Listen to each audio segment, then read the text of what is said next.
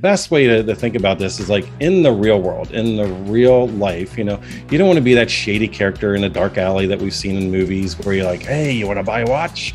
You know, and to a lot of people, that's kind of what we're doing. We're like going in the middle of Times right. Square with a megaphone to complete strangers and we're like say, hey, here's what I'm selling. This is what I'm selling. This is what I'm selling. And what a lot of us do when we see those people in Times Square, we kind of like have a bubble and we walk. It's almost like a force field. We kind of like walk around. There's one or two people that are amazed and they're taking pictures, like, "Wow, we don't get this at home," you know. But other than that, like most of us walk around these type of people, right?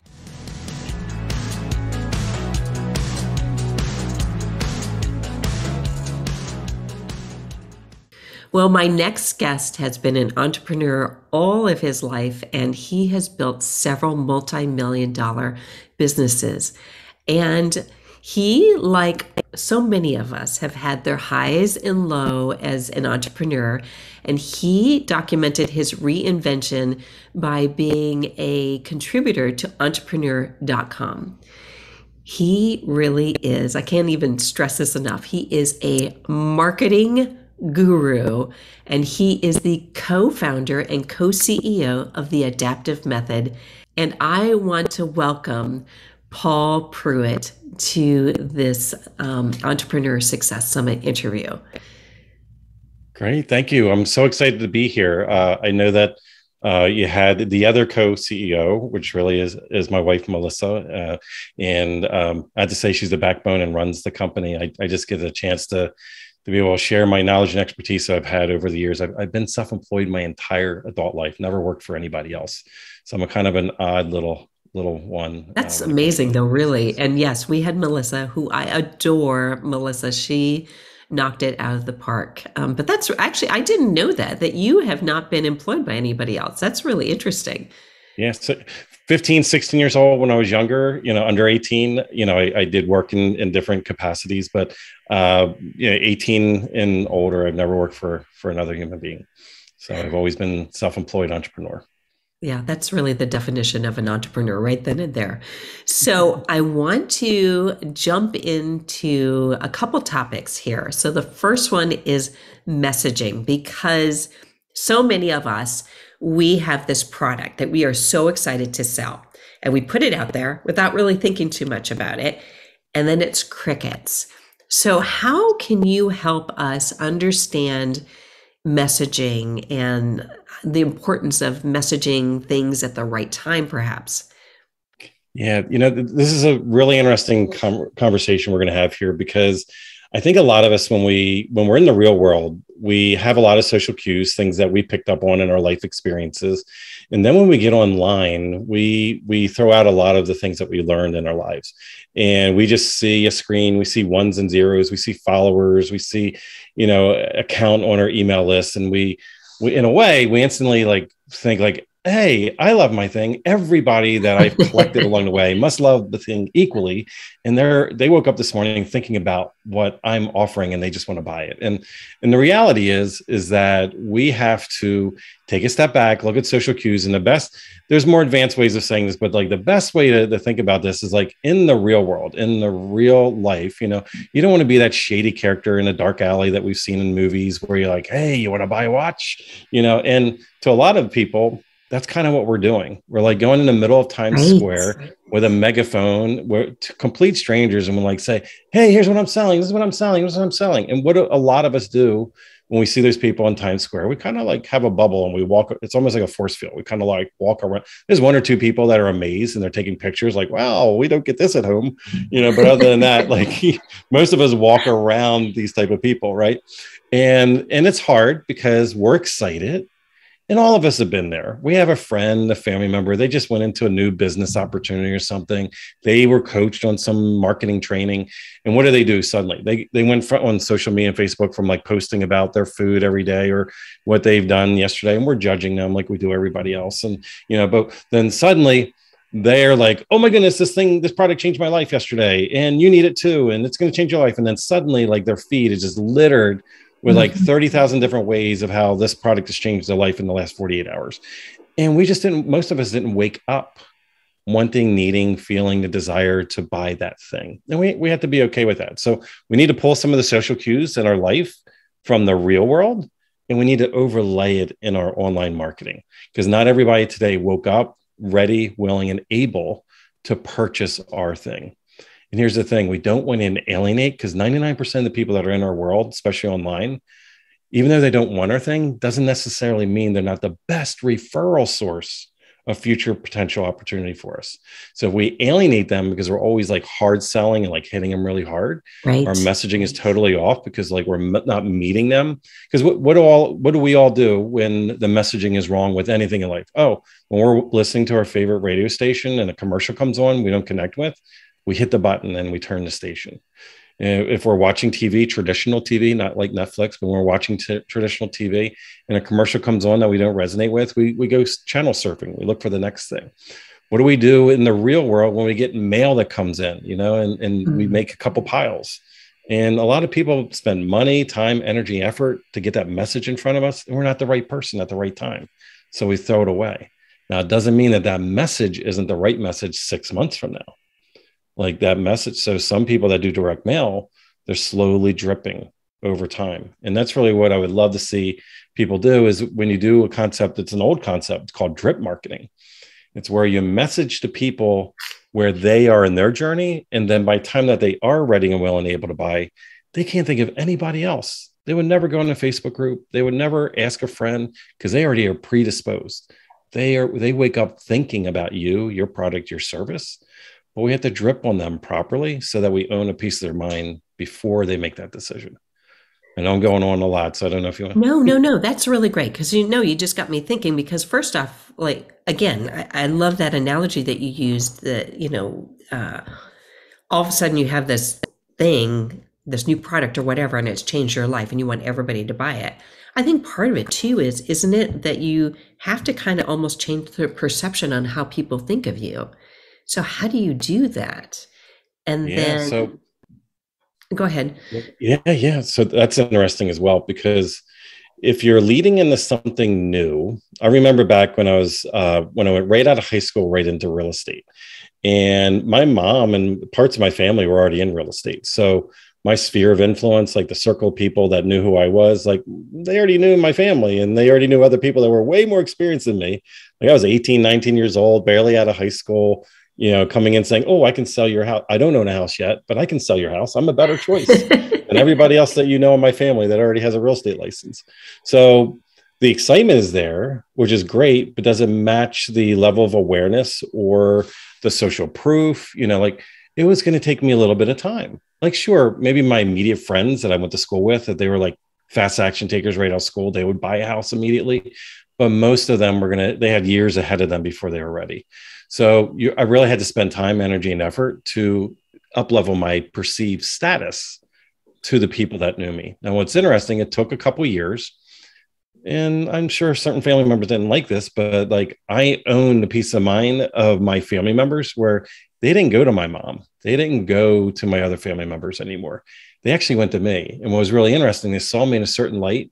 This is going to be bad. I'm going to say, in a minute. I never reduced a commission, even for my family.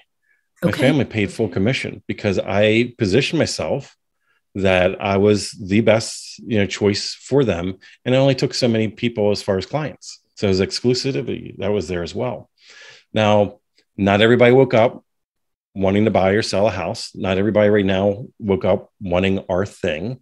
We don't want to alienate people. So how do we? And this is really what we want to get. How many times in your life have you been following somebody that does sell a product or service, but you're not interested in a product or service, but man, do you follow them? You love anything and everything that they talk about. That's what being a follower is about. It's not necessarily like being sold on their product or service. It's like your values are aligned, your beliefs are aligned, you know, what they speak into resonates with you. Because they're like, they almost like they have a, a video camera in your house and they kind of get you right you know so right. really what's happening though is that influencer that that that person that expert is entering the conversation that you are already having as a consumer. And that's what we want to do as a marketer, as a business owner, as an entrepreneur, is we need to understand what the daily life is of our customer because they're not always going to be our like the customer moment is like a sliver of time typically. But who are they before that? Because we want to get on their radar before that. So what conversations are they having? What are they thinking, saying, feeling, and doing? Now, what's interesting, this is what copywriters use thinking, saying, feeling, doing. So this is important. Now, what's also interesting about these three or these four elements that a lot of people don't realize thinking, saying, feeling, doing that's also human psychology. That's neurolinguistics. Because in order to have a transformation from being, you know, over here and wanting to be into the, the next space in the future, whatever your aspiration or getting away from pain is, you would think, say, feel, and do something different. Okay. So when you speak into these conversations, when you have and you can talk into the life or the lifestyle or the pain or you know the the trauma or the struggle that somebody's having they're going to be like oh my goodness you get me you know what's going on in my house you know what i say to myself you know what i'm thinking in the morning when i'm struggling with that topic and on the other end why do they buy our product or service because they want the aspirational side they want to move away from that struggle, away from that pain. Mm-hmm. They want what the future potential can be. So they would, if they had that transformation from a product or service, they would think, say, feel, and do completely different things. So again, this is based on human psychology. This is human, this is therapy, this is neurolinguistics, but that's how we bring it in. That's where the messaging comes. If you want to have perfect messaging, don't come up with a messaging. Talk to the people you're serving and what are they already saying use their words their phrases their sentences that'll be your headlines that'll be your body copy that'll be your call to actions that'll be your lead magnets that'll be your offers that'll be your podcast episodes that'll be everything you really don't have to think about it because it's already there for you i love that that's almost like a mic drop right then and there that is so good. I think I'm going to re listen to this portion of the interview multiple times. Um, so I want to switch um, over to Facebook. Yeah. So I have to say, why on earth does Facebook change so much? I was in the Facebook manager and Facebook ads um, yesterday. It's different. It's like every time I go in there, it's completely different um, which I think just kind of creates a challenge for everyone. So, what can we do, I guess, um, so that we don't make, I would say, like almost common errors in Facebook? Yeah. So, when you're doing Facebook ads or any type of advertising, it actually should be the last step that you do in your marketing process. And, and what I mean by that is that ads will only amplify what's right or wrong with your offer, with your messaging, and with your audience selection. It won't fix your funnel, it won't fix any issues that you have. And the biggest mistake that we see a lot of people making is that they are like, oh, I'm not getting people in my lead magnet. I'm not getting people in my webinar. I'm not getting people into my offer, my paid offer. So I'll put ads behind it and it's like oh so now you're putting bad money be- and and i'm okay with that but paypal me the money you know because you're just going to give it to mark zuckerberg and he doesn't necessarily need it and i'll gladly give you my paypal address if you just want to donate money out to the world you know it's, it's so so really what we have to do is understand is that the moment that you're actually touching the ads manager you should already be very clear with a tested offer you should mm-hmm. already be very clear with all the assets that you would have in that ad. You should not, where we see a lot of people make a mistake is they're actually staring at the, the screen in the ads manager and they're coming up with the answers and they're trying to fill in the blanks as they're doing oh, wow. it. And you should actually have all this predetermined before you touch it. Like if you went to an ad agency, they're not going to go, uh, random client. Okay, let's go in the, this magazine today. And, and, uh, okay, now well, what ad should we place since we're inside here? And, oh, what the, should the copies? No, they have a strategy. They have a plan. They know who they're targeting very clearly before they submit the ad. They know what the messaging is, what's the purpose, what's the reason, what's the why. Now, for some of us, if we're not launching or directly selling something, we're just trying to gather people. What does the people that we're approaching, what would make them socially raise their hand and maybe opt into an email list or have them join a certain Facebook group or listen to your podcast? Like, what would be the topic that would resonate with them? That way, all the people that are not ideal clients would like totally mm-hmm. like block it out and ignore it. And all the people that are the right people would be like, hey, that's me. I want that. I want to consume that. Because what we want to do is we want to tune in ahead of time organically like what's the right messaging what's the right offer? So that when we we know what works because we're going to do testing and everything be- beforehand and once you have it tuned in then you take it into an ad. And then you already know the messaging ahead of time. You already know what the call to action is. You already know the purpose and the reason like at what stage somebody's at them in your world that they would receive this ad because a lot of us are uh, you know it's that stranger danger moment i talked about or you hear a lot of marketers they'll, they'll do the whole the marriage proposal thing. Like you take somebody out on the first date and you're like hi my name is oh by the way you want to marry me? You know it's kind of like and that's what we're doing to a lot of our potential clients. And it's like you don't know them. You know there's a courting process. There's communication. There's two-way communication. Is this the right fit? Is this for me? You know does this make sense? Do i want to take a step forward? Do i even want a second date let alone you know a long-term commitment. And a lot of us mess up because we're just we're anxious. We're that teenager you know that uh, just can't wait for the second date you know.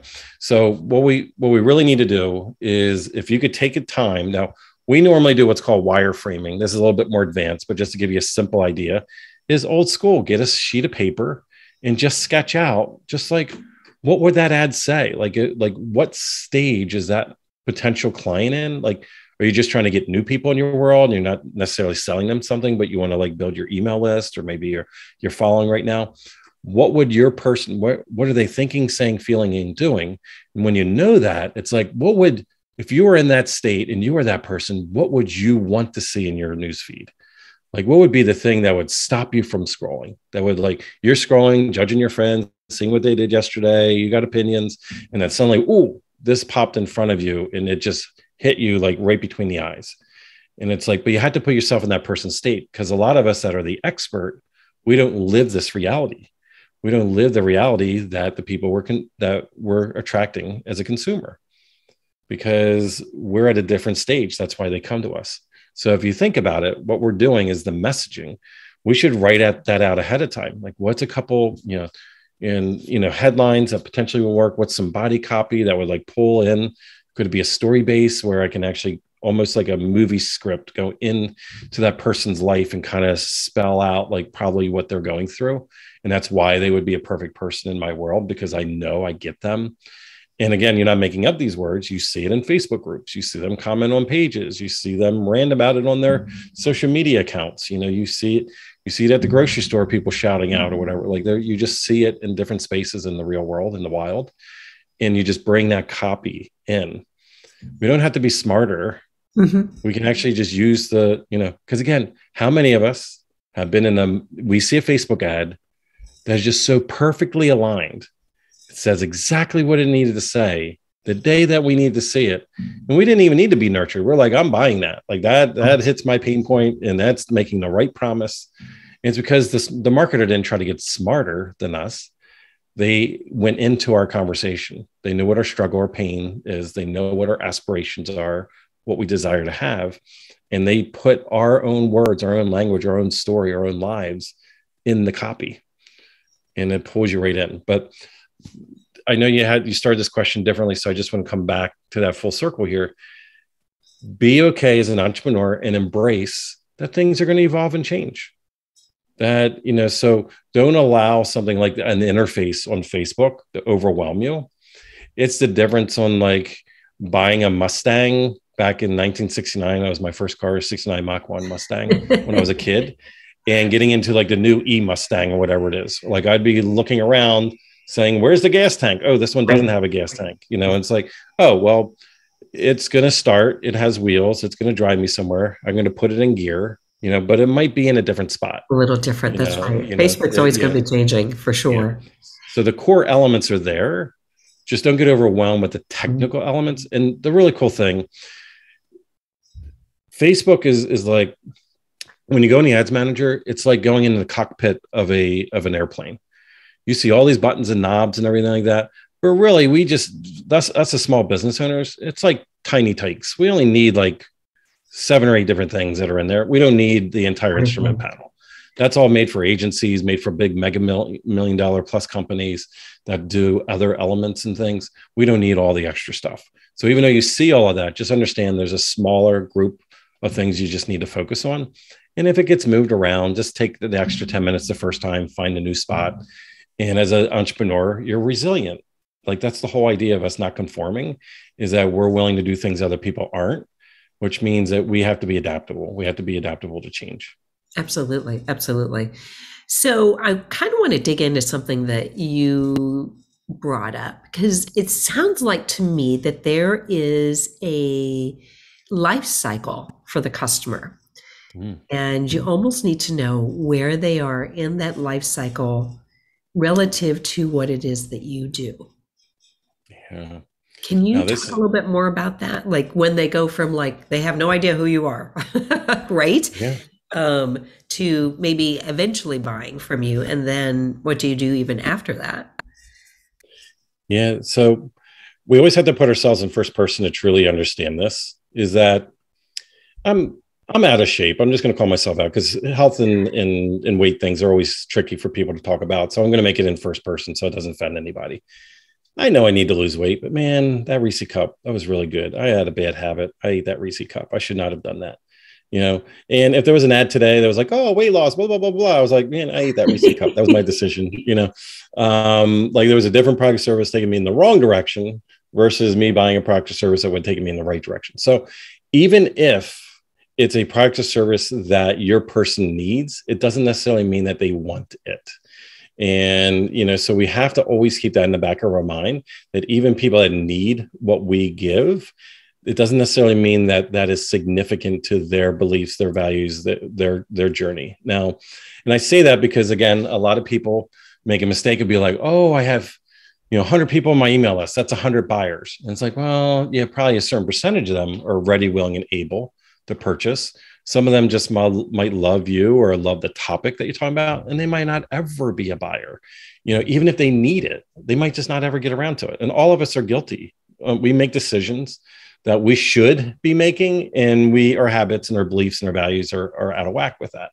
And that's just who we are as human beings. Now, a lot of us, this is getting a little bit more advanced, uh, but I'm going to try to put it, give one or two examples uh, that are very obvious time based. But a lot of us don't think of the natural buyer's journey in a different context. And that's where the the the person that's going through this pain or struggle they themselves there's a moment in time where they enter the realm of where your product or service is relevant. And there's a certain point where it becomes irrelevant again. Now some of us deal in topics like health or relationships. Well if somebody had a bad relationship six months ago and they opted into your thing but they reconciled and they're happy right now. They might still be on your email list, but they're not in a time and space where they're looking to pay for a solution. Right. Now, now somebody that just got it received an engagement ring today is now instantaneously because of a life event has an entire new buyer's journey of a whole bunch of products and services that lay ahead of them than they were yesterday. So some of us have a life event, maybe a ring or a, a wedding, a baby, a you know a, a a senior child that moves out of the house when they graduated high school and went to college and now they're an empty nester. Some of us just had uh, now this is on the good side of life and also on the on the down side so in real estate it was always okay somebody got a new job buy a house. Somebody just expanded in their family child marriage whatever relationship two income house okay different house okay? Then it's like okay mo- moved up you know getting you know making got a raise again getting the bigger house all those things like that progression. But then there's the slide on the other side which is empty nester divorce bankruptcy you know loss of job death. There's all the other things that are life events that causes people. Some of us that deal in the health sector your person might not exist until they got a diagnosis of something. Mm-hmm. Your person might not exist in, until they just got out of the hospital, or maybe they they're going through physical therapy right now, or or something just happened where two weeks ago they were not your client, they were not looking and googling your thing, but because of a life event that happens, suddenly it's relevant. You know, if you if you were an interior designer, somebody that just bought a house today might now be looking at your stuff. But the day before today, they might not have been relevant whatsoever. You know, there so some of us have a life cycle, a window of time where somebody's relevant. And what's interesting though is some of us are like the equivalent of like a wedding planner that got a whole bunch of leads from a wedding show 10 years ago and they're still emailing these people as if like they didn't get married oh, wow right. You know what i mean? You know what i mean? Like oh this is a big email list. All these people i don't know why they don't buy. And it's like well some of those emails are fake that they created for the wedding like six years ago. You know just because they're still on your email list doesn't necessarily make them the right person you know? And and a lot of us need to remember that. Now this also just so you know this also comes into play when it comes to facebook ads.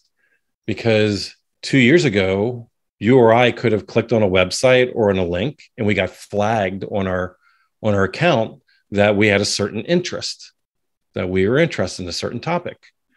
Now that tag doesn't disappear. So somebody could be advertising to us today and it's something that's not relevant whatsoever to us but it's because we're lumped in a group.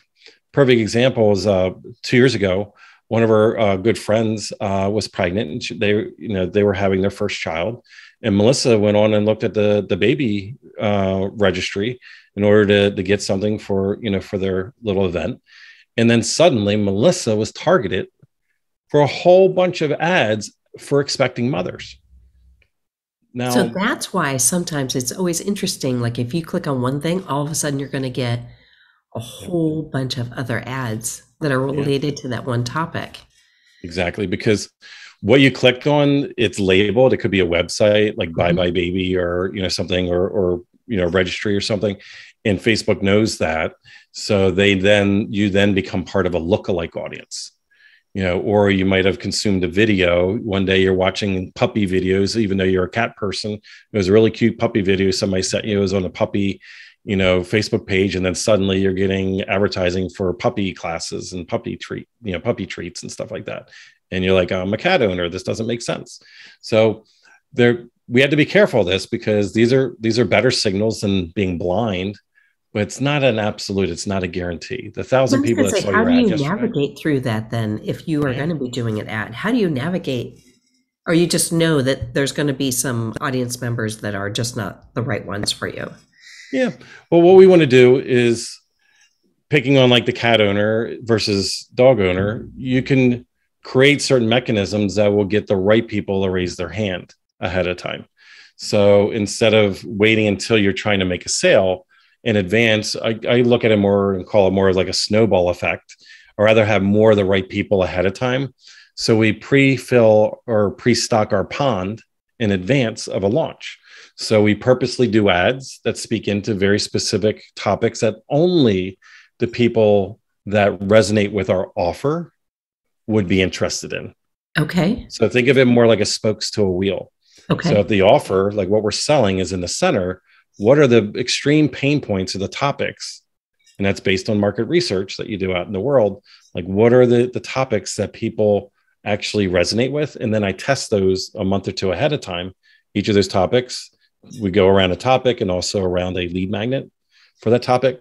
So then when I'm going in advertising, I'm only advertising to people that have socially signaled that they're interested okay in those things versus the junk versus the rest. It's just what happens most of the time. People don't pre pre-stock their pond. They don't dig their well before they're thirsty. So what happens is they're in that scarcity mindset. You know, they they need to sell something today make money today. So they're doing a shotgun approach, it's just megaphone in Times Square screaming to a bunch of people and not everybody there is relevant. So they end up not getting the results that they want because they're trying to do a fire sale at the 11th hour to mm-hmm. bring people in. But the best buyer to have is a predisposed buyer. People that are like, know, and trust you before they need your product or service. That's where you have longevity in a business because otherwise, if you're always selling into the 11th hour, like you need somebody to convert today, and if you stopped your ads today, you would have like no future opportunity coming in. You're only two steps away from being out of business at all times.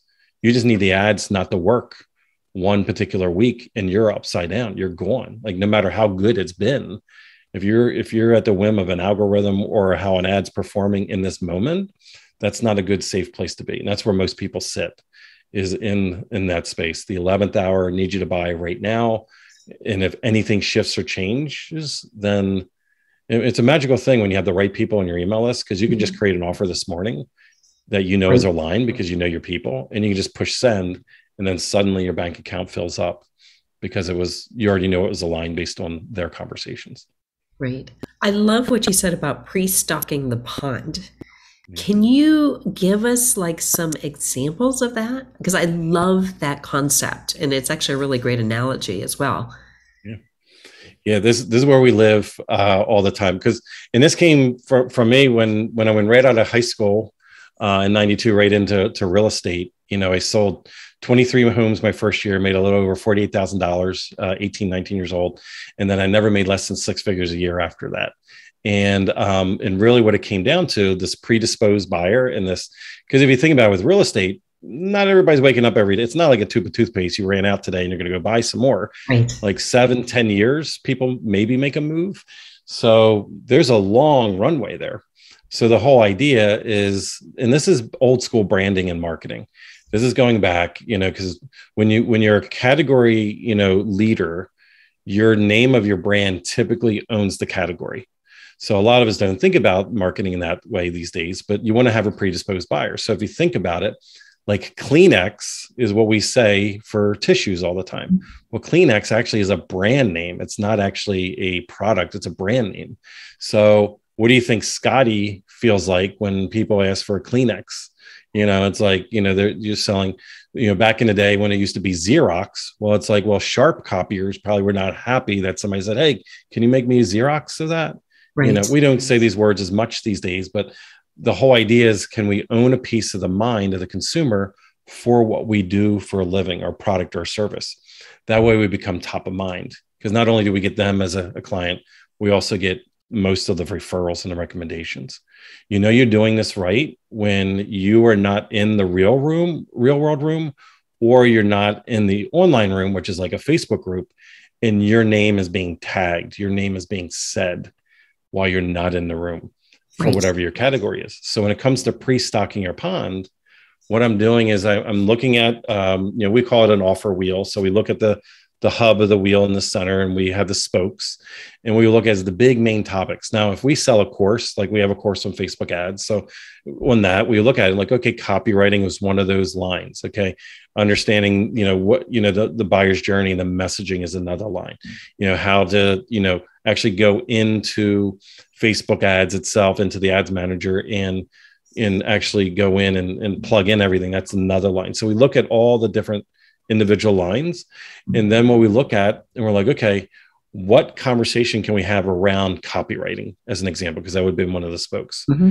So it's like, oh, well, if we break down copywriting, okay, that could be the offer page. Well, let's stick with the ads right now. Okay, so that's zooming in one particular topic in copywriting is the ads themselves. Then it's like, okay, well, with the ads, there's different elements of the ad. There's the image or the video, like that has copy elements to it. There's the actual headline that grips and grabs attention and pulls people mm-hmm. in. There's the body copy, and there's the call to action. Well, right there, that's five pieces of content that I could put out in one. One of those can be a social media post, or it could lead to, you know, just one element could lead to a lead magnet. Right. You know, because it all drives copywriting, which is what people want to know what to say in their ads. So now my content publicly is relevant to what my offer is. So if anybody opts in on something that I put in that line, they would be perfectly aligned because it's not the average person that's on social media. They, if they're opting in on something that's about headlines or about call to actions or body copy, you know, of a Facebook ad, they're definitely going to be aligned to a Facebook ad course later on. You know, so we're pre-stocking our pond. We're getting people following us. We're getting video views. We're getting opt-ins within the topic that is actually part of our offer and and we're doing that based on again those spokes like what are the things because it's like putting the right bait out and putting it out into the water and a different piece of bait will pull a different piece of right. you know catch so you know we have to be very more intentional with what we throw out into the world i want to thank you paul i mean you gave us so much value. I adore you and your wife, Melissa, and everyone. Um, if you haven't checked out the adaptive method, please go ahead and check that out. And again, thank you, Paul, because I love just listening to you. I always, every time I talk to you, I always learn so much. It has been an honor and privilege. Thank you for having me on.